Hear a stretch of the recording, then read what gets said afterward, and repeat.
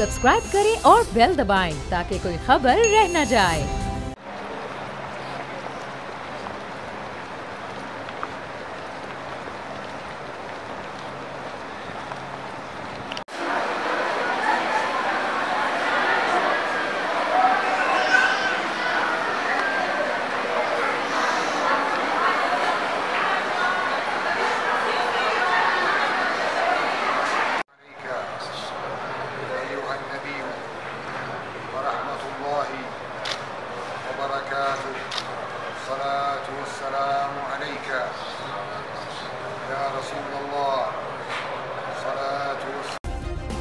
Subscribe करें और bell दबाएँ ताकि कोई खबर रह न जाए।